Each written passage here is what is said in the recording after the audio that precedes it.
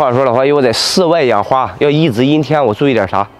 其实我们也担心那种一直阴天的天气。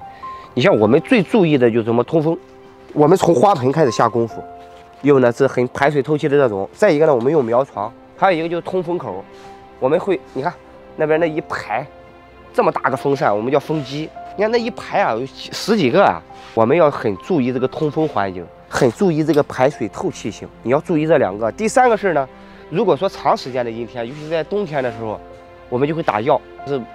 你如果说长时间的闷嘛，这个棚里面的空气就会很潮湿，那么呢，它会上病菌。这个时候我们就会打一些杀菌药。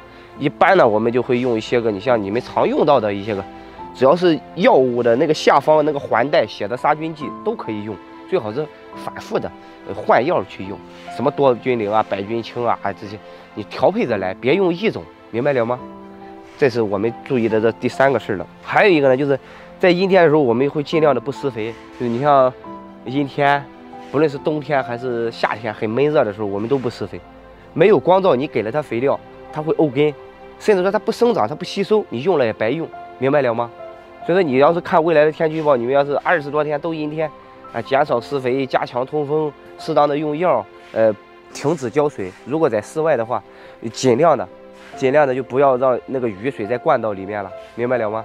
要不然也是一个噩梦的，希望能帮助到你啊，花友。好了，希望大家养的花嘛都是，哎，健健康康的。我是老花一，然后再在一，记关注啊，白了臭宝。嗨，嘿嘿嘿嘿。